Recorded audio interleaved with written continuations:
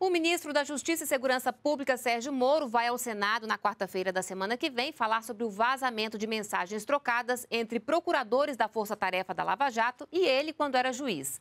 A iniciativa partiu do próprio ministro. A audiência será às nove da manhã na Comissão de Constituição, Justiça e Cidadania.